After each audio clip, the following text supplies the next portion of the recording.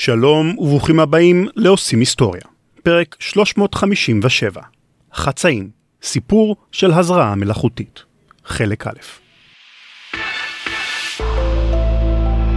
רשת עושים היסטוריה. רשת עושים היסטוריה. רשת עושים היסטוריה.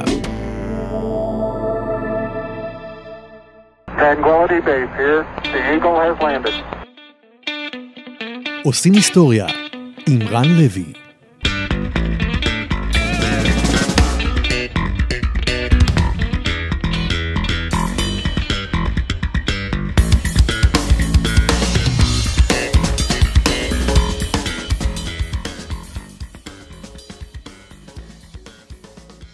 אז בוא נתחיל באמת מה, אה, מההתחלה שלך בזה. איך אתה נכנס בכלל לכל הסיפור הזה? איך זה מתחיל? אז ככה, אני, אה, כמו שאמרתי, אני בן יחיד. גדלתי, גדלתי ביישוב במרכז הארץ, ובתור ילד, אני, אבא שלי היה בן אדם, הוא סבל מבעיות רפואיות, היה נכה, ואני זוכר שבתור ילד כל הזמן שאלתי את ההורים שלי למה אין... אה, למה אין ילדים, אחים, וככל שהתגברתי הבנתי שזה כאילו אבא שלי, אה, בגלל שאבא שלי כנראה נכה, או דברים מהסוג הזה. זה ירדן, שם בדוי. הוא כבן 40, נשוי ואבא. כל השמות והפרטים המזהים שתשמעו בפרק הזה בדויים, אבל הסיפור עצמו נכון, עד לפרט האחרון. זהו, חיים עוברים, ובגיל uh, תחילת ה-20 אבא שלי נפטר uh, מבעיות לב, ואני ממשיך את, ה... ממשיך את החיים. צבא, לימודים, משפחה, עבודה. ב-2015 אני מחזיר את אמא שלי מליל הסדר, מחזיר אותה הביתה, עשיתי אצל המשפחה של אשתי, ומדברים על, על אבא שלי, אתה יודע, יש את השיחות האלה, זה חגים, ו... אה, ותוך כדי נסיעה אמא שלי אה, זורקת לתוך שם, אומרים, אתה יודע, אתה לא הבן של אבא שלך. עכשיו אני עושה לה, מה זאת אומרת? אז היא אומרת לי, אתה מתרומת זרע. עכשיו, בן אדם נורמלי, נגיד, אתה, אני אגיד לך כזה דבר, אז הלם טוטאלי, ואימא שלי אישה מאוד יקרה ואני מאוד אוהב אותה, אבל uh, טקט זה לא החצן החזק שלה, כי לא, מדבר, לא מספרים כזה דבר למישהו שנוהג במהירות של 100 קמ"ש בכביש המהיר. לגלות שאתה תוצר של תרומת זרע, או שמי שכל חייך חשבת שהוא אביך, הוא למעשה אינו אביך הביולוגי? זו בשורה שקרוב לוודאי הייתה מפילה מהרגליים כל אחד מאיתנו. אבל... חייב להגיד שהייתי מופתע, אבל לא מופתע. בוא נגיד, לא הייתי מופתע כמו שאתה היית מופתע, אם אמא שלך הייתה אומרת לך כזה דבר. הסיבה שירדן לא נפל מהרגליים בעקבות הגילוי הזה, היא מה שהוא מכנה בחצי חיוך תסמונת האישה הנבגדת. זאת אומרת, אישה שחושדת בבעלה, אבל עד שלא יביאו לה את התמונה או את ההוכחה שהיא רואה, היא מדחיקה את זה, היא רוצה לא להאמין, ואני אסביר. אה, לאורך החיים היו לי כל מיני דברים של, אני אקרא לזה כמו בקייזר סוזה, בסצנת הסיום, שאתה, אז כל מיני דברים... כשאתה מסתכל אחורה פתאום... כשאתה מסתכל אחורה פתאום הכל ברור לך. למשל, אביו של ירדן היה טיפוס גבוה למדי, ואילו ירדן נמוך קומה. לא מאוד נמוך, אבל מספיק נמוך כדי שהפרש הגבהים בינו לבין אביו יהיה בולט לעין. בתור ילד, כשתהה על פשר הבדלי הגבהים, סיפרו לו שיש לו בן דוד רחוק שגר בחו"ל, שגם הוא נמוך קומה, ולכן סביר להניח שהתכונה הזו עוברת במשפחה. ויש את צבע העיניים, שגם הוא היה שונה מזה של אביו. ועוד פיסות מידע קטנות כאלה, שכל אחת מהן בפני עצמה כמעט חסרת חשיבות, אבל יחד יוצרות פאזל שקשה להתעלם ממנו. למה אמא שלך סיפרה לך דרך אגב? היה איזה טריגר? אני מניח אה, שזה עול שהיא נשאה על עצמה. אה, לאורך השנים, כי זה משהו שהוא קשור אליי וקשור לאבא שלי, והיא כאילו נמצאת שם בדרך, היא בין הפטיש לסדן, מצד אחד, כאילו אני חושבת שאני אולי צריך לדעת, ומצד שני, זה איזשהו סוד או משהו של, אה, של אבא שלי או משהו מהסוג הזה, שזה... אה, היא נמצאת שם באמצע, ואני חושב שאתה יודע, דיברנו על זה, ואוקיי, עברו 15 שנה, אפשר, אה, אפשר לספר. אז אנחנו נמצאים באוטו והיא מספרת לך. כן, ואני... הפה כמובן מתייבש, אני זוכר את עצמי מחזיק את ההגה וה... כמו אומרים, white knuckles ככה, אבל אני עוד פעם מופתע ולא מופתע, ו... היא מתחילה לספר לי, ובאיזשהו שלב אני אומר שאני לא רוצה לשמוע יותר מדי, לא להיכנס לזה יותר מדי, ואני אומר, אוקיי. ואני מוריד אותה, ואני חוזר הביתה, מספר לאשתי. אה, אשתי כמובן בהלם, ובאיזשהו מקום היא קצת אה, רבתה נחת, כי אבא שלי היה, הוא נפטר מבעיות לב. לו בעיות לב, ומחלות נוספות, וזה סוג של אה, ריליף. ואשתי כן, התחילה לתחקר אותי, שאלת מתי עשתה, למה עשו, ואני לא נכנסתי לזה, זה לא היה לי רצון לגרד את הפצע הזה, וממשיך הלאה. ועובר קצת זמן, ואתה יודע, זה נמצא בתוכך בפנים, צד אחד אתה רוצה לספר, מצד שני אתה לא רוצה יותר מדי לחשוף, ונפגשתי עם חבר מאוד קרוב שלי, ישבנו ודיברנו, ובאותו רגע רק זה שני האנשים היחידים בעולם, חוץ מאמא שלי ש... שיודעים. וכמה הוא אומר, תנסה לברר, תנסה לשאול, ואני אומר שאני לא, לא כל כך רוצה, לי, לא כל כך uh, מעניין להיכנס לזה. אני יודע את זה, אבל... Uh, ואני משאיר את זה שמה.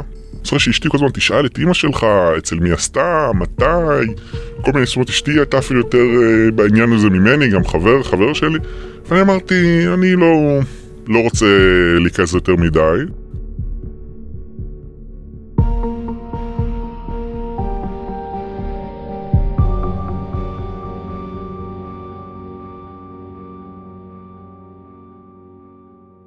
ירדן החליט, ואני חושב שאפשר להבין אותו, שלא לחטט בפצע הישן ההוא ולהשאיר את העבר מאחור. אבל לגורל, ליקום או לכל כוח עליון שתבחרו להאמין בו, היו תוכניות אחרות. ואז בדצמבר 16 אה, פונה אליי מישהי מהפייסבוק. אני כמה שנים לפני כתבתי פוסט ביום השואה על אה, סבא שלי, אבא של אמא שלי, הוא הסתיימה המלחמה, הוציאו איזה ספר של העיירה, והוא כתב שם איזה משהו ואני ראיתי פסקה. ואותה אישה פונה אליי, היא אומרת לי, אני עושה מחקר לאבא שלי, אני צריכה להיות סביבה 40, אבא שלה באזור ה-70, וחיפשתי מידע, והיא בסופו של דבר, שהיא נכנסה ל... לפייסבוק, הקלידה את שם העיירה ושם משפחה. ובמקרה בפוסט שלי כתבתי את שני אלה, ומתחילים לדבר. מהון להון, ידה ידה ידה, אה, אימא שלי ואבא שלה, בני דודים מדרגה שנייה. כאילו, שני הסבים שלנו בני דודים, מאוד מרגש. הגילוי המפתיע של הענף המשפחתי החדש ריגש את המשפחה כולה והביא את ירדן להתעניין בהיסטוריה המשפחתית שלו ובשירותים שמציעות חברות שעוסקות בתחום. ואני מתחיל לגגל קצת ואני קורא על כל מיני איך זה עובד כל מיני ואומר יאללה על החיים ועל המוות בואו נעשה נזמין ערכה. ההליך שירדן החליט לבצע הוא בדיקה גנטית. רובנו פגשנו או נפגוש את הבדיקות הגנטיות רק בהקשר הרפואי. למשל, בדיקות לגילוי מחלות תורשתיות לפני שנכנסים להיריון, או בדיקות לגילוי גנים שקשורים בסוגי סרטן שונים. אלו בדיקות רפואיות שאינן זמינות לציבור הרחב באופן מסחרי. זאת אומרת, כדי לבצע אותן, אני חייב הפנייה מרופא, והן קיימות בצורה זו או אחרת כבר למעלה מ-40 שנה. הבדיקה שעשה ירדן, עם זאת, שונה בתכלית. זו בדיקה גנאולוגית, דהיינו בדיקה שמטרתה העיקרית זיהוי קשרי משפחה בין אנשים שונים ובירור מוצאו האתני של הנבדק. המידע הסמי-רפואי היחיד שהן מספקות הוא אינדיקציה לגבי מספר תכונות גופניות שוליות למדי, כגון הסבירות שהגבות שלך מחוברות או גוון העור שלך. מידע שאין לו חשיבות מעשית, ובתכלס, כנראה שגם לא מחדש שום דבר לאף אחד. זו הסיבה שאפשר לבצע את הבדיקות הגנאולוגיות האלה גם באופן פרטי, ללא הפניה מרופא. מבחינה מעשית, השירות שמציעות כמעט כל החברות בתחום הזה דומה למדי. הלקוח מבצע הזמנה דרך אתר החברה, הוא מקבל לביתו ערכה קטנה ובה מבחנה זעירה שצריך למלא ברוק, או מטוש שיש לשפשף בחלק הפנימי של הלחי. בשני המקרים מדובר בפעולה פשוטה שלוקחת דקות ספורות, ולאחריה סוגרים את הערכה ושולחים אותה בחזרה אל החברה לפענוח.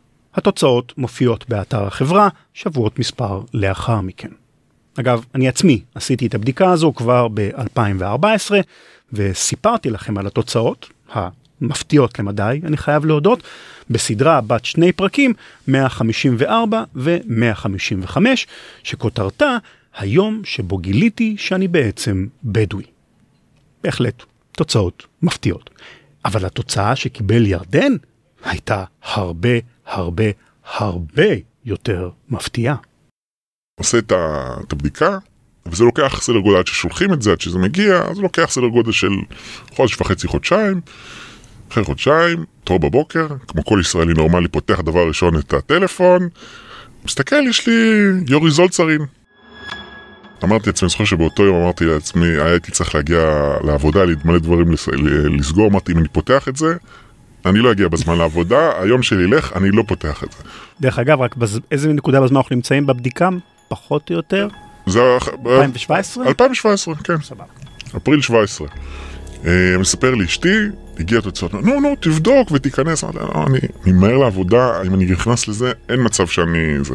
בסדר. המוח רץ ב-9,000 קמ"ש, אתה חושב, אתה מתרגש, הדופק עולה, אתה צריך שיניים, מתגלח, מתארגן, מכין לילדים את הארוחת בוקר, את האוכל לבית ספר, אשתי יוצאת, ואני כזה מתלבש, מתארגן, אני כזה, כמו בסרטים, מגיע כילדית של הדלת, אולי, אולי נלך להסתכל, זה ייקח רק רגע. כמו שאתה יושב בערב לפני הטלוויזיה, ואני אקח רק כוס אחת של גלידה, זה על אותו משקל. ואני הולך, ל... הולך למחשב, פותח את המייל, נכנס, ואז אני רואה, זה מתחיל בזה שמאיפה אתה בעולם, איפה אתה מגיע, כמה אחוז ננדרטלי אתה, ופה ושם וזה, וממשיכים הלאה, ואני נכנס, ואז נגיע למקום של המדור איתור, איתור קרובים, כמו שזה נקרא, ולפני שאתה נכנס, עולה אזהרה, זה שלוש פעמים, שים לב, אה, יכול להיות שיש דברים שתגלה שאתה לא רוצה אולי לגלות, או דברים, אי אפשר לזאת לגל אחורה, משהו בסגנון הזה. ואני אומר, דאבל Yes, או נאטינג, אני נכנס, כן, אני זה. מה קיווית לגלות, או, או מה חשבת שתגלה? אמרתי בוא, בוא נראה, א', בוא נראה מאיפה אני מגיע. איפה אני מגיע בעולם, מה ההיסטוריה, אה, ואולי נמצא קרובי משפחה.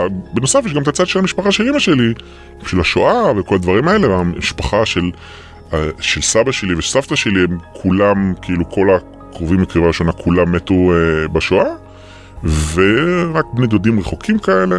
אמרתי בוא נראה. ל-23andMe, החברה שבמסגרתה ביצעה ירדן את הבדיקה הגנטית, יש כמה מיליוני לקוחות מכל רחבי העולם. כשהנתונים הגנטיים מפוענחים, המערכת של החברה משווה את התוצאות האלה לאלו של כל מיליוני הלקוחות האחרים, ומאתרת קטעי DNA זהים שמעידים על קרבה משפחתית. ואז נפתחת רשימה של איזה 1,200 איש, ש-99.999 זה בני דודים מדרגה שלישית ומעלה, עוד איזה כמה שהם בני דודים מדרגה שנייה. 1,200 קרובי משפחה חדשים ולא מוכרים נשמע כמו מספר מרשים, אבל האמת היא שבכמעט כל המקרים מדובר על קרובי משפחה רחוקים מאוד מאוד. דודנים שהקשר המשפחתי עמם הוא ברמת סבא רבא או סבא רבא רבא. זו קרבה משפחתית חסרת כל חשיבות מעשית. רק כדי לסבר את האוזן, לי עצמי יש למעלה מ-2500 דודנים רחוקים שכאלה. אבל אז, אז מלמעלה אני רואה half brother. חצי אח, או אח למחצה, אדם שחולק איתך הורה אחד משותף. אני כזה משפשף את הראש, משפשף את העיניים, גרד בראש, אומר אוקיי. אתה מסתכל על השם, אתה מזהה אין- משהו? אה, אני זוכר, אין שם, אה, אין שם בשלב הזה עדיין. אה, אני חושב שאין שם, או שאולי היה שם אבל היה רק שם פרטי, ויש צ'אט באתר.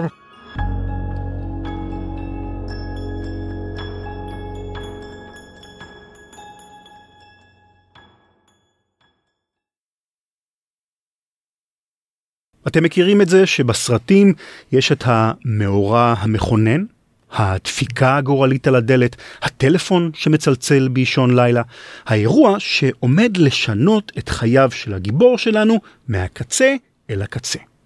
עבור ירדן, הרגע שבו התיישב מול המחשב ונכנס לעמוד של קרובי המשפחה, היה בדיוק רגע כזה.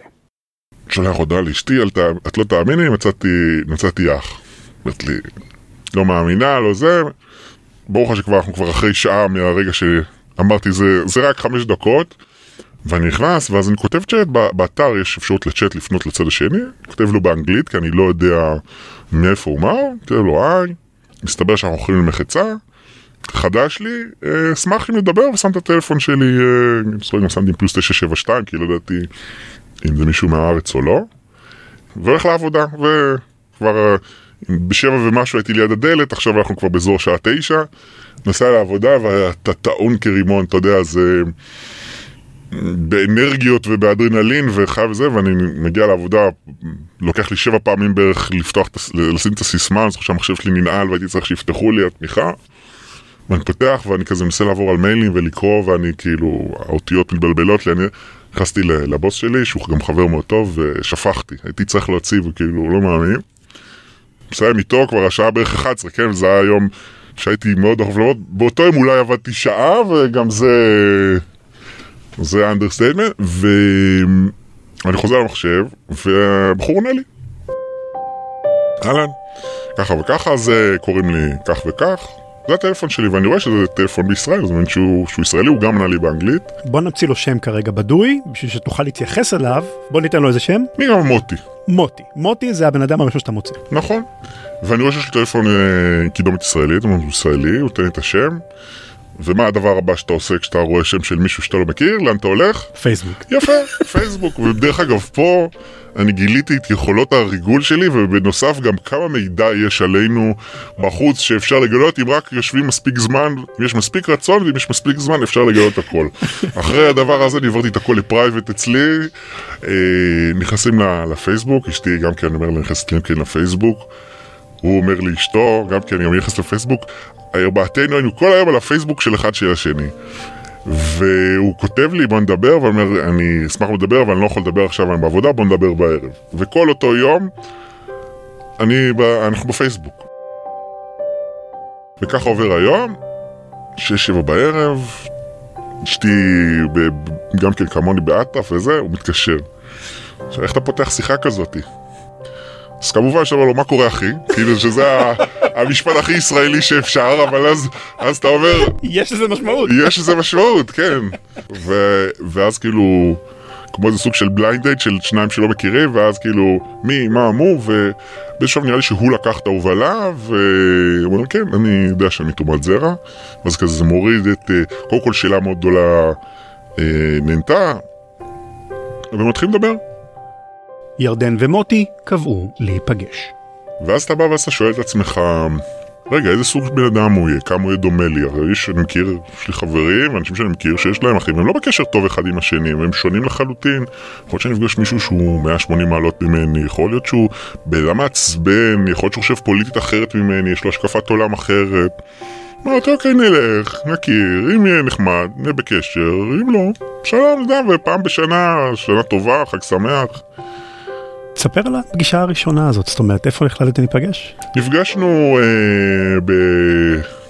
זה נקרא מסעדה בשם ארנולד, בחוויה האולימפית שם בפארק הירקון. כאילו, אתה ישבת שם והוא הגיע, או איך זה היה? נפגשנו בחוץ. אתה יודע, אנחנו רואים ו... אתה יודע, אתה בא, אתה יודע, בהתחלה ללחוץ את היד, זה, זה ישר כזה לחיצה שופכת ישר לחיבוק, כאילו... כאילו כמו... אם ניקח פרפרזה על עולם הדייטים, סוג של אהבה מבט ראשוני כזה, כאילו יש קליק מיידי. ואז אתם מתחילים אה, לחפש דמיון. אה, יש לנו את התסרוקת, יחסית דומים בגובה, צבע עיניים, אה, מבנה גוף, ואני חושב שהסתכלתי לו על הידיים, והידיים מאוד דומות, זאת אומרת, כאילו, יש, ידיים זה דבר יחסית שונה מבין אדם לבין אדם, מבנה, אורך, צורה, ומתחילים לדבר, ואז כאילו, קודם כל אתה מגלה, יש כימיה, ישר יש כימיה מהר מאוד, ומתחילים לדבר, ו...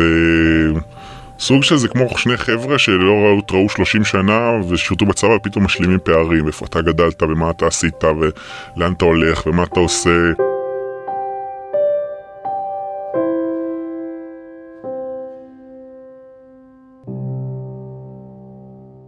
כשירדן, שגדל כבן יחיד, מספר לי על המשפחה החדשה שהוא מצא, העיניים שלו נוצצות. ואנחנו פותחים קבוצת פייס... אה, קבוצת וואטסאפ, ואנחנו נפגשים, בהתחלה אה, אשתי ואני נוסעים אליהם, ומאוד מתרגשים, הם פוגשים את האישה שלו, ואת הילדים שלו, ואחר כך הם באים אלינו, ומפגישים את הילדים, וזה מאוד מרגש, ופתאום, אתה יודע, להגיד, יש לי אח אבל אין לו שמץ של מושג שהתגלית המפתיעה הזו היא רק נקודת הפתיחה של הרפתקה הרבה יותר מטורפת. וככה עוברת לה חצי שנה, ואז איזה בוקר אחד בדצמבר, קם בבוקר, 2017 עדיין? 2017, וכמו כל ישראלי מצוי, דבר ראשון, קח את הטלפון, יש לי הודעה במייל. We have, you have one uh, new family relative. ואז אני אה, הולך למחשב, טוב בוא נראה, נו סתם, אה, עוד אח למחצה. אני משפשף את העיניים כאילו, מה? עוד אח למחצה. בואו נקרא לו שי. ואז אני נכנס לפייסבוק, ויש איזה ארבע כאלה, שאתה עובר אחד אחד, טוב זה לא נראה לי, זה צעיר מדי, זה כהה מדי, זה ממש לא דומה. ויש איזה אחד, ואני אומר בוא, בוא נראה אם זה, וכמובן שאני מקביל אני שולח לו הודעה. שי עונה, ומסתבר שכמו מוטי, גם הוא כבר היה מודע לזה שייתכן שאביו אינו אביו הביולוגי, אם כי מעולם לא שיער לעצמו שיש לו חצי אח, ועל אחת כמה וכמה, שניים. ירדן, מוטי ושי נפגשו, הכירו, ואפילו פתחו קבוצת וואטסאפ משותפת. הם קוראים לקבוצה חצאים.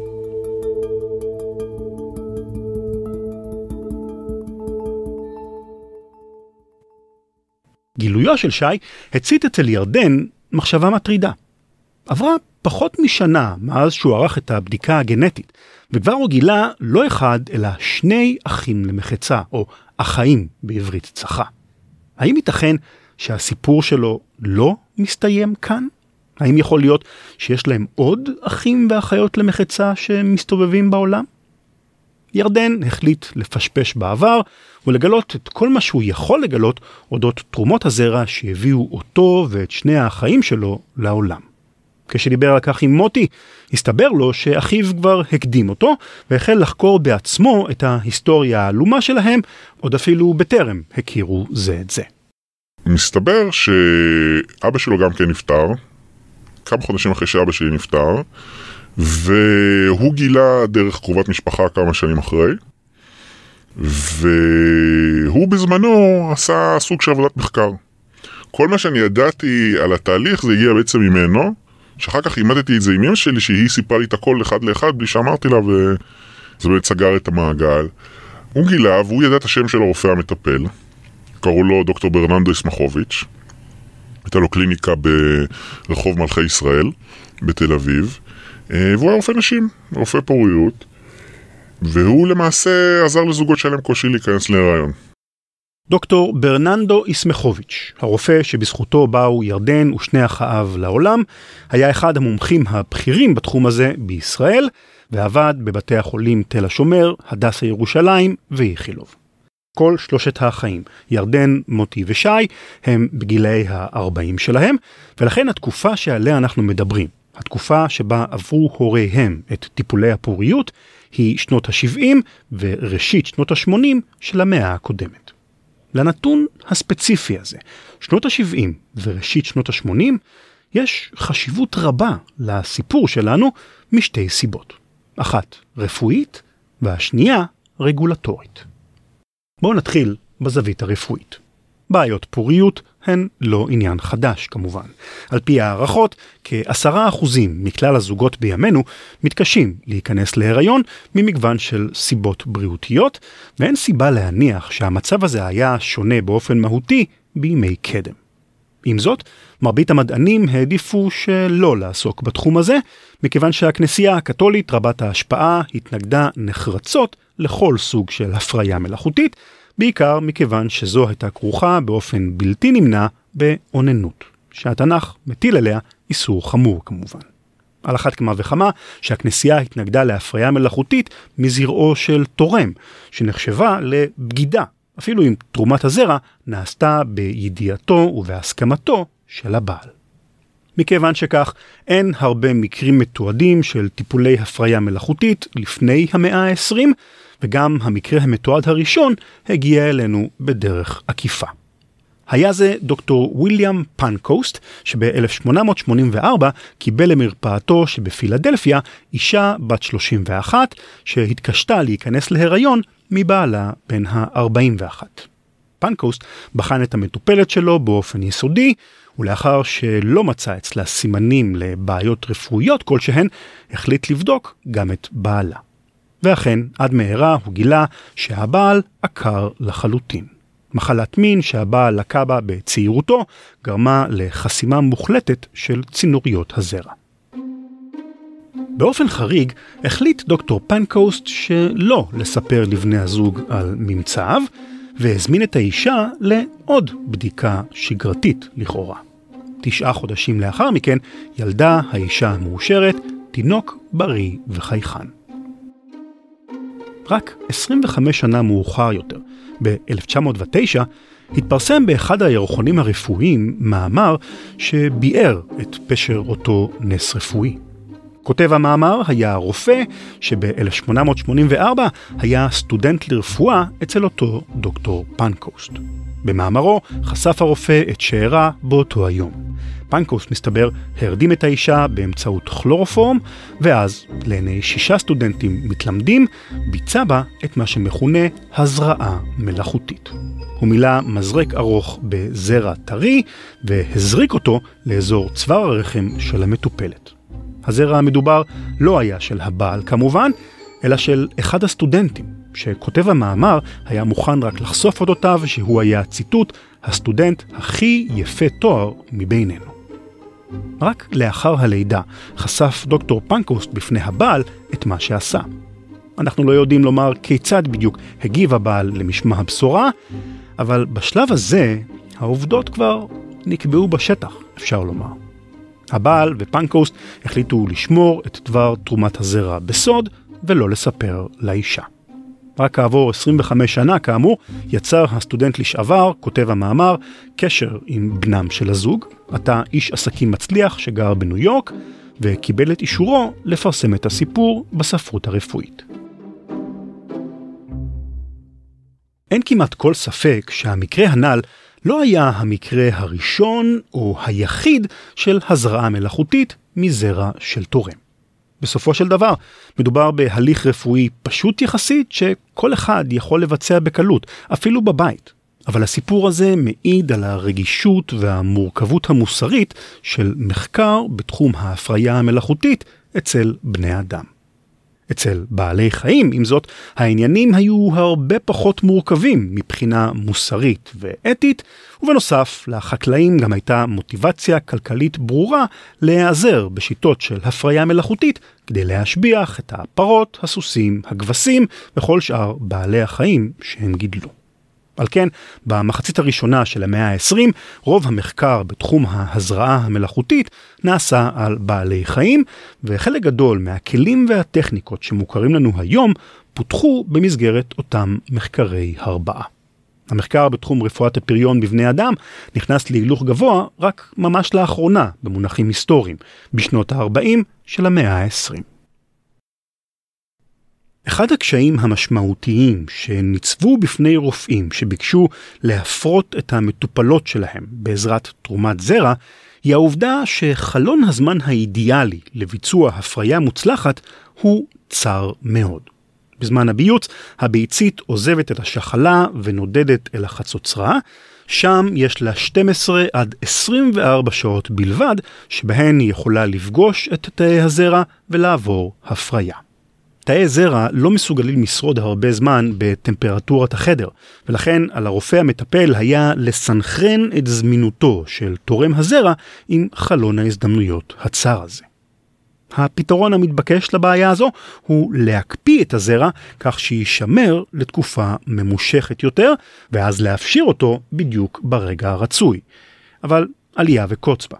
הניסיון המצטבר הראה שהקפאה כזו הורסת את תאי הזרע. חוקר אנגלי בשם כריסטופר פולג' בחן בשלהי שנות ה-40 את האפשרות להגן על תאי הזרע בזמן ההקפאה באמצעות השרייתם בפרוקטוז, סוכר פירות. פולג' הדגים שבעזרת פרוקטוז תאי זרע מסוגלים לשרוד הקפאה אפילו בטמפרטורה של 79 מעלות צלזיוס מתחת לאפס. אבל למרות שמבחינה ויזואלית הזרעונים המופשרים נראו תקינים, בפועל הם לא הצליחו להפרות את הביציות. ב-1949 יצא פולגה לחופשה בת מספר חודשים, וכשחזר למעבדה שלו המשיך את הניסויים שהחל בהם קודם לכן. הפעם, למרבה ההפתעה, הניסוי הצליח. תאי הזרע המופשרים הצליחו להפרות את הביצית. פולג' המופתע בחן את התמיסה שבה השתמש, וגילה לתדהמתו שבכלל לא מדובר בפרוקטוז. בזמן שהוא היה בחופשה, מישהו החליף בטעות את תמיסת הפרוקטוז שבבקבוק בתרכובת אחרת שהכילה גליצרול, או בשמו המוכר יותר, גליצרין. הגליצרין השמנוני, מסתבר, מגן על הזרע הקפוא טוב יותר מאשר הפרוקטוז, וכך נפתחה הדלת לסדרה של פיתוחים ושכלולים בידי חוקרים אחרים, שנסתיימה כעבור שש שנים בלידה ראשונה מוצלחת של תינוק אנושי מתרומת זרע שעבר הקפאה. התגלית הזו חוללה מהפכה במחקר ובפרקטיקה של טיפולי הפוריות. היכולת להקפיא את זרעו של התורם הסירה מהמשוואה את האלמנט של לחץ הזמן, ונתנה בידי הרופאים את האפשרות לבחון את איכותו של הזרע הנתרם, לבצע פעולות שישביחו במרכאות את הזרע כדי להעלות את הסיכוי להפריה מוצלחת, ובסופו של דבר הובילה להקמתם של בנקי הזרע הראשונים בארצות הברית ובאנגליה בראשית שנות ה-70. אבל כל זה היה בארצות הברית ובאנגליה. כאן, בישראל, המצב היה עדיין שונה לחלוטין. בנקי הזרע הראשונים הופיעו כאן רק בשנות ה-80, וטיפולי ההפריה שביצעו דוקטור איסמכוביץ' ועמיתיו בשנות ה-70 היו דומים מאוד למה שעשה דוקטור פנקוסט באותה הפריה פורצת דרך ב-1884. דהיינו, הזרקה של זרע טרי, כזה שנתקבל מתורם ממש בסמוך לרגע ההפריה, ישירות לצוואר הרחם של המטופלת. הפרוצדורה הייתה, האישה הייתה מגיעה בתקופת המחזור, סליחה, לתקופת הביוץ, נכנסת לקליניקה, האחות לוקחת לה מדדים, לראות שהכל בסדר, טמפרטורה, לחץ דם, דופק, ורואים שהכל בסדר, מתקשרים לתורם, הוא מגיע, יש כניסה נוספת לקליניקה, נכנס, משאיר את הדגימה ויוצא. נכנס הרופא, לוקח מזרק, in as simple as that, התהליך מושלם. אין פה משהו, אין פה משהו מיוחד. שמהר מאוד, כאילו, יודעים שלאישה אין בעיה, פעם, פעמיים, וזה, וזה נקלט. וממשיכים הלאה, אף אחד לא יודע, זה נעשה לגמרי במחשכים. במאמר מוסגר, כדאי להדגיש שאנחנו מדברים כאן על הזרעה מלאכותית, ולא על הפריה חוץ גופית, או IVF. הפריה חוץ גופית, כפי שמרמז השם, היא הליך שבו ההפריה, החיבור בין הביצית והזרע, נעשית מחוץ לגוף, ואז הביצית המופרית מוחזרת בחזרה לרחם להמשך ההיריון. התינוק הראשון, למעשה התינוקת הראשונה שנולדה כתוצאה מהפריה חוץ גופית בישראל ב-1982 היא העיתונאית ומגישת הטלוויזיה רומי נוימרק. ההזרעה המלאכותית שהייתה נהוגה כאן בשנות ה-70 היא, כפי שניתן להבין, הליך הרבה יותר פשוט, ולעיתים האישה הייתה אפילו מבצעת אותו באופן עצמאי בביתה. הפשטות הזו מובילה אותנו למאפיין החשוב השני של טיפולי הפוריות בישראל של שנות ה-70, והוא הרגולציה הממשלתית, או ליתר דיוק, היעדרה המוחלט של רגולציה כזו. בישראל כמעט ולא היו חוקים או אפילו תקנות רשמיות שהסדירו את התחום הזה. במסגרת התחקיר לפרק הזה שוחחתי עם אדם שהיה מקורב לתחום הפוריות באותם הימים, ולהערכתו פעלו בישראל בין עשרה לחמישה עשר רופאים שביצעו טיפולי הפריה בקליניקות שלהם. מכיוון שלא היו אז תקנות וחוקים ברורים, כל אחד מאותם רופאים פעל פחות או יותר באופן עצמאי ולפי שיקול דעתו. היעדר הפיקוח הממשלתי יצר, טוב, אין לי מילה אחרת לתאר את זה, ברדק. במיוחד בכל מה שקשור לרישום ותיעוד מסודר, והמצב המפתיע שבו מצאו את עצמם ירדן, מוטי ושי, הוא תוצאה ישירה של הברדק הזה. כשהלך דוקטור ברננדו איסמכוביץ' לעולמו בשנת 2002, הוא השאיר אחריו ללא ספק המון זוגות מאושרים שהגשימו בעזרתו את חלומם להביא ילד לעולם, אבל דבר אחד הוא לא השאיר, וזה תיעוד מסודר לגבי מי היו תורמי הזרע שלו ואיזה זוג קיבל איזו תרומה. על פי מחקריהם של ירדן ומוטי, זה מה שהיה קורה כשזוג עם בעיות פוריות התיישב לשיחה עם רופא כדוגמת דוקטור ישמחוביץ'. והוא אומר, תקשיבו, יש לכם אה, ארבע אפשרויות. להמשיך בלי ילדים, להיפרד, לאמץ ילד, שאתם לא יודעים מה אתם מקבלים, וכולם ידעו גם כן שאתם כנראה מאמצים אותו, כי את תהיי בהיריון ולא יראו, וזה לא הילד שלכם, או שאני יכול לעזור לכם. עכשיו צריך להבין, אנחנו מדברים על שנות ה-70. אין בנקי זרע בארץ, אה, חוק בנק הזרע עבר רק בשנת 79, אז אין אפשרות איפה תשיג אה, זרע, אלא אם כן, אה, כמו שאברהם אבינו, שרה ממנו אמרה לו, לך לשפחה הגר ותביא משם ילד, אין דרך אחרת להביא. אז למעשה הרופא אומר, תקשיבו, אני, אני יכול להשיג לכם תורם זרע, זה יהיה מישהו שהוא יהיה מאותו מוצא, נשתדל כמה שיותר שיהיה דומה מבחינת מראה חיצוני לאבא, והוא יהיה סטודנט לרפואה. וזה הפתרון. תבחרו מה אתם רוצים. עכשיו, מה שיפה פה, אף אחד לא ידע. דרך אגב, שהולכים, הבנתי את זה רק כשנולדו לי ילדים, כשאתה הולך לבית חולים, אף אחד לא בודק אם אתה אבא או לא. יודעים מי האימא. אני הלכתי לרישום במשרד הפנים שם בבית חולים. אני אבא, זהו, אני אבא, אף אחד, מזה זה נסגר, כאילו אף אחד לא בודק. אין סיבה. כן, לא, אם אתה הולך, אם אתה תלך עם ידידה שלך לבית חולים שהיא צריכה ללדת כי בעלה לא נמצא, בעלה בחו"ל במילואים, אתה תגיד אתה אבא, זהו, אתה אבא מבחינת מדינת ישראל, אתה אבא, אף אחד לא, לא בודק. אז אף אחד לא יכול לדעת, ורואים אישה בהיריון ומתקדמת, ו... אז כולם חושבים, הנה, הכל... אה, ולמעשה זה סוג של פתרון מושלם. אם האזנתם לדבריו של ירדן בקשב רב, אולי שמתם לב לפיסת מידע קטנה וחשובה שהסתתרה בהם. עכשיו, אנחנו ידענו שזה סטודנט לרפואה, שזה סטודנטים לרפואה, וחשוב להגיד עוד פעם, זה שנות ה-70, אז לא הביאו מישהו מחיפה או מירושלים, זה מישהו מאזור גוש דן. כי צריך להרים לו טלפון, צריך להגיע, זה משהו קרוב, וכנראה שלא היו יותר מדי כאלה. מסתבר שדוקטור פנקוסט, שביצע את אותה הזרעה מלאכותית ראשונה בסוף המאה ה-19, מתרומה של אחד הסטודנטים שלו, לא היה חריג כלל וכלל. סטודנטים לרפואה נחשבו מאז ומתמיד לתורמי הזרע האידיאליים. הם נתפסים, ובצדק, כאנשים מוכשרים ואינטליגנטים, הם בדרך כלל תפרנים שישמחו לקבל כמה לירות תמורת עבודה לא ממש קשה, ומטבע הדברים הם גם זמינים מאוד לרופאים שעובדים איתם ביום יום. אחת הדוגמאות המפורסמות בישראל היא זו של פרופסור איתן פרידמן, רופא בכיר שגם מופיע על מסכי הטלוויזיה שלנו לא פעם, שחשף באחת ההזדמנויות שבשנות ה-70 הוא היה תורם זרע על בסיס שבועי כמעט. למעשה, סביר להניח שלדוקטור איסמחוביץ' היו כמה וכמה תורמים כאלה, הן משיקולי זמינות והן כדי לנסות ולהתאים את התורם כמה שיותר לבני הזוג, מבחינת מוצא, גובה, משקל ושיקולים חיצוניים דומים. אם כן, כל מה שירדן ואחאב ידעו על אביהם הביולוגי, תורם הזרע, היא העובדה שהוא ככל הנראה היה סטודנט לרפואה שהתגורר באותה התקופה באזור המרכז. זה הכל. בתור קצה חוט, זה לא הרבה. אבל הדבר הזה עתיד להשתנות באופן מפתיע ביותר. עוברת לה חצי שנה, מתכונן, זה יום שישי, מתכוננים ל... ליום הולדת של הילדים שלי, מתארגנים, אנחנו חצי שעה, שעה לפני, אתה מכיר את זה, האישה רצה בסידורים וזה, ותעשה לי זה, ואני כן, כן, כן, שנייה, אני... והיה לי איזה רגע פנוי, אמרתי, טוב, ניכנס, ניכנס למחשב. עושה לי להרגל, פעם בחודש כזה אני נכנס ומסתכל. ונכנס לאחד האתרים, כזה סתם בנונשלנט, גם כן שם, יש שם איזה חמשת אלפים אה, אנשים מכל מיני זה, וכל פעם, כולם זה בשברי אחוזים.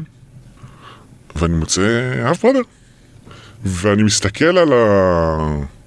על התמונה של הבחור והשם, כמובן הדבר הבא, עוברים לפייסבוק, והוא מוכר לי. אני לא יודע איפה הוא מוכר לי. אני נכנס לפייסבוק. בוא נמציא לו שם. עידו. עידו. והוא מוכר לי. ו... אבל אני לא יודע איפה. נכנס לפייסבוק, נכנס לפייסבוק, ואמרתי, אוקיי, הבנתי. ואז אני מסתכל, אתה יודע, נכנס לפייסבוק, מוצא את הבן אדם, מסתכל חברים משותפים, יש לנו חברים משותפים. יש לנו חבר משותף, קרוב מאוד, שי.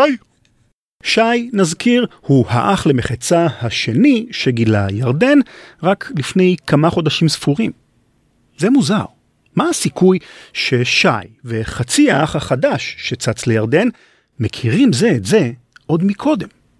שי היה באותו הזמן בנסיעת עסקים בחו"ל, אבל ירדן החליט להרים אליו טלפון באותו הרגע. אני מתקשר אליו, הוא לא עונה. מתקשר אליו. הוא עונה, מה קורה? הכל טוב, תיכנס בבקשה למייל שלך, זה מה עכשיו? עוד אח? זה- כנס בבקשה למייל שלך.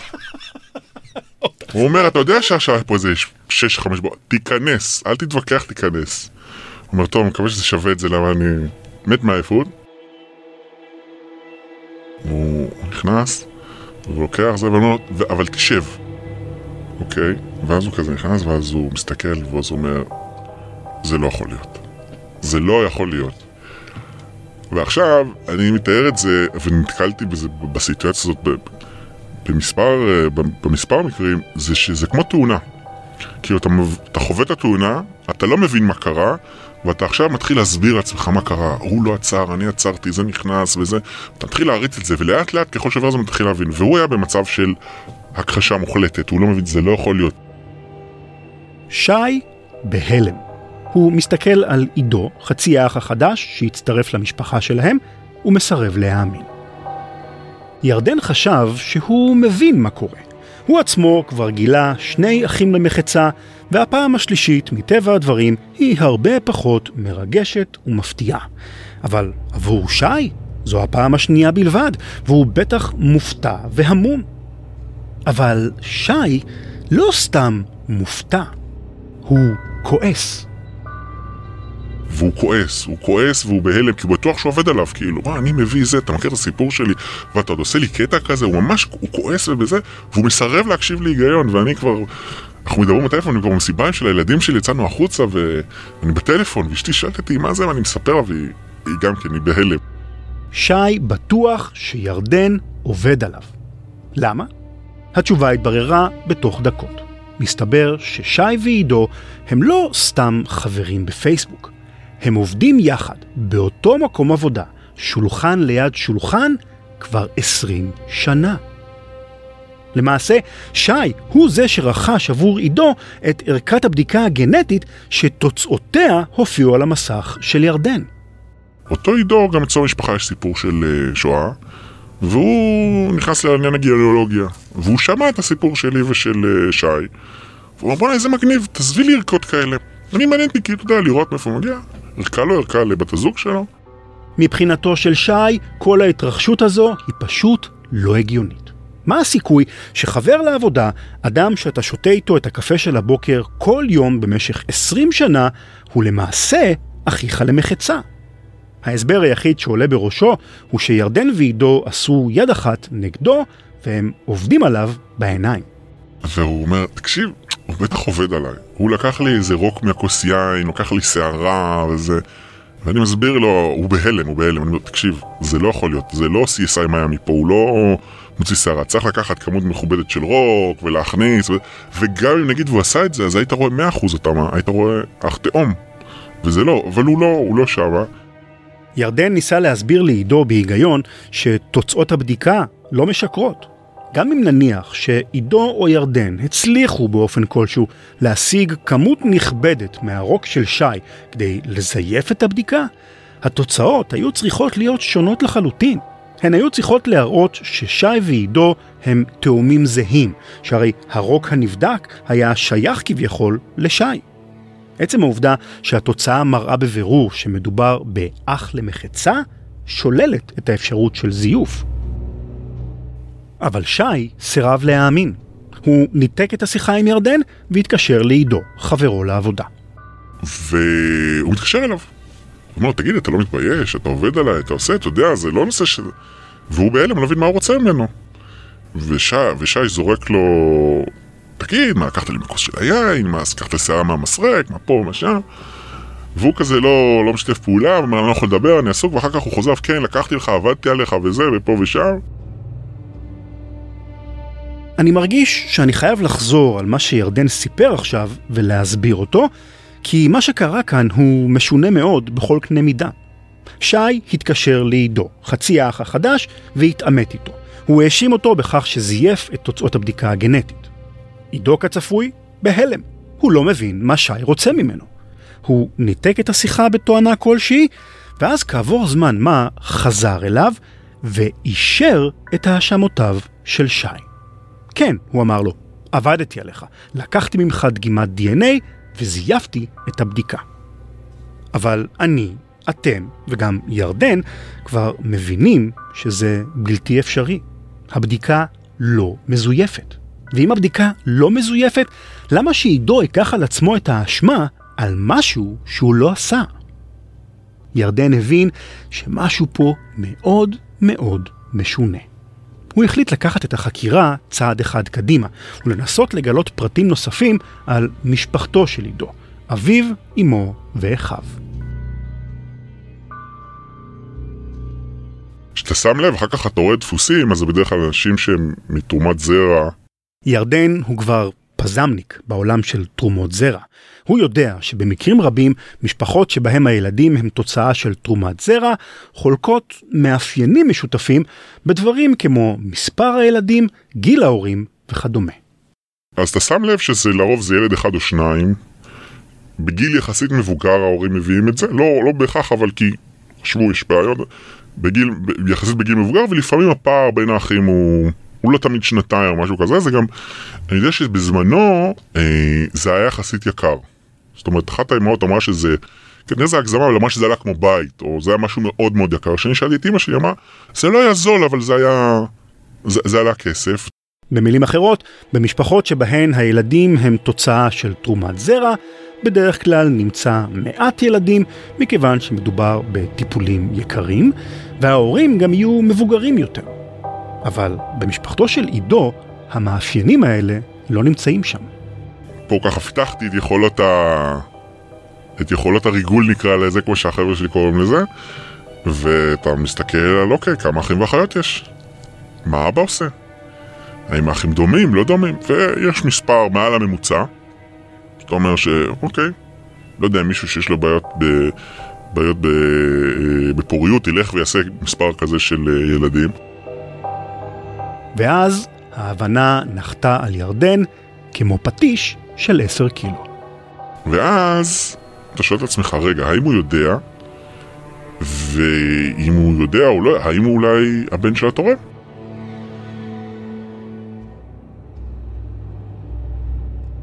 זה נשמע כמעט בלתי אפשרי. מאפייני המשפחה של עידו, ועצם העובדה שהוא העמיד פנים שזייף את תוצאות הבדיקה, רמזו על כך שאביו של עידו הוא-הוא למעשה תורם הזרע של ירדן, מוטי ושי. אבל ירדן לא היה בטוח במאה אחוז שהוא צודק. הוא חזר למחשב וחיפש את ההוכחה המכרעת. ו... אוקיי, בוא נראה מה אבא עושה. גיגול מהיר, חיפוש לשם, הבן אדם רופא. רופא, רופא פעיל. ואתם יודעים כבר ממוטי שהתורם זה סטודנט לרפואה בעברו. נכון.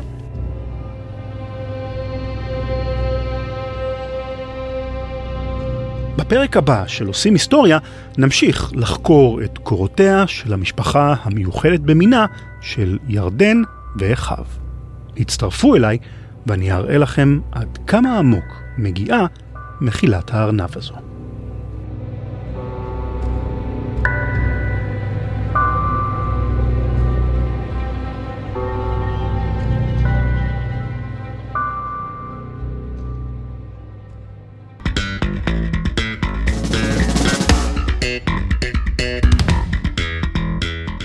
זהו, עד כאן לפרק הזה. תודה רבה לירדן, המרואיין שלנו בפרק, ולשי, עמית ולאחאים האחרים במשפחה. מיד נמשיך אל עדכונים מה נעשה ברשת שלנו, שאלת עושים היסטוריה חדשה ועוד, אבל ראשית כתמיד, חסות קצרה.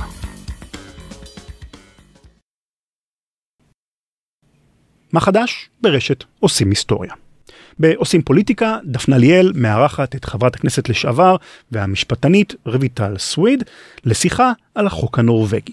כיצד משפיע החוק שאנחנו שומעים אודותיו רבות מאז הוקמה הממשלה האחרונה על הפוליטיקה שלנו, ומה יהיו ההשלכות שלו בעתיד. בהקיפוד, פודקאסט הכדורגל שלנו, על שינויים בכדורגל. לא מזמן פרסם עיתון ספרדי שפיפ"א בוחנת לכאורה שינוי מהפכני בחוקי הכדורגל. במקום 45 דקות למחצית, 30 דקות בלבד. אכן מהפכה, אבל דניאל מקדואל, גל לפלר ואפי בריק סוקרים את ההיסטוריה של המשחק ויספרו לנו על כמה שינויים לא פחות דרמטיים שהתחוללו בו לאורך השנים, כמו למשל שילוב של שופט במשחק. מסתבר שבהתחלה הקפטנים של הקבוצות היו אלה ששמרו על הסדר במשחק. בעושים רפואה, יובל ועידן מארחים באולפן את לא אחר מאשר דוקטור שמעון ברק, רופא הילדים והמגיש של הפודקאסט אבא של יונתן והבן שלו. הם מדברים על מחלת הפוליו. בשנת 2013 צלצל הטלפון במשרדו של פרופסור איתמר גרוטו. מהצד השני הודיע לו נציג המעבדה המרכזית לנגיפים שנתגלו נגיפי פוליו בביוב בדרום. שיחת הטלפון הגורלית הזו היוותה את יריית הפתיחה לאחד המבצעים המוצלחים והפחות מוכרים של משרד הבריאות, המבצע לעצירת התפרצות חוזרת של מחלת הפוליו. ואחרון חביב, ביחסנו לאן, פאולה וליאון רוזנברג משוחחים עם הנוירולוג והפסיכיאטר פרופסור יורם יובל על דפוסי היקשרות בזוגיות. הרבה מהחיכוכים הקיימים בקשר זוגי נובעים מדפוס היקשרות של כל אחד מבני הזוג שנקבע כבר בגיל צעיר אצל כל אחד מאיתנו. פרופסור יובל מספר על המחקרים המדהימים שנעשו בנושא ונותן לנו כלים להבין מה דפוס ההיקשרות שלנו וכיצד הוא משפיע על הדינמיקה הזוגית. כל הפודקאסטים של רשת עושים היסטוריה זמינים כתמיד באפליקציית עושים היסטוריה באנדרואיד, באתר הבית שלנו עושים היסטוריה.com ובכל אפליקציות הפודקאסטים באשר הן. שאלת עושים היסטוריה חוזרת אחרי הפסקה של מספר חודשים. תגידו, גם אתם עשיתם בדיקה גנטית? בדיקה גנאולוגית או אפילו בדיקה רפואית במסגרת הריון או כל סיבה אחרת? מה גיליתם בבדיקה הזו שהפתיע אתכם? ספרו לנו בקבוצת הפייסבוק של עושים היסטוריה. כתמיד, אם אתם אוהבים את התוכנית ומעוניינים לתמוך בה, כל שלושת ספריי זמינים בחנות שבאתר, ואני תמיד רושם הקדשה אישית על כל עותק, לכם או למי שתרצו להעניק את הספר במתנה.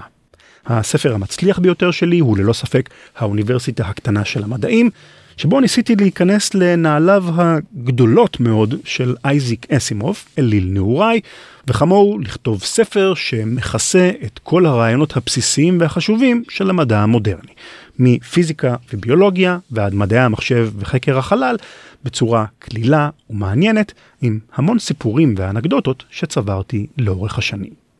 וכמובן, אם אתם שומעים על יזם או בעל עסק שמעוניין לטבול את רגליו במדיה החדשה של הפודקאסטים, ספרו לו עלינו. יש לנו המון ניסיון בקמפיינים פרסומיים עם כל החברות המובילות בארץ, ואיתנו המפרסם יכול להיות בטוח שהקמפיין שלו יהיה מוצלח ויפגע במטרה. צרו עימי קשר דרך טופס צור קשר שבאתר או במייל run@ranlevy.com. עושים היסטוריה הם איתמר סוויסה, רכז המערכת, יותם הלחמי ובנורה ברי בעריכה ובהפקה, שרה וכטל, מנהלת הקהילות, אפי בריק ואביב שם טוב במכירות, דני תימור, המנהל העסקי, ואני, רן לוי, כותב ומגיש. אנחנו נשתמע בפרק הבא. להתראות.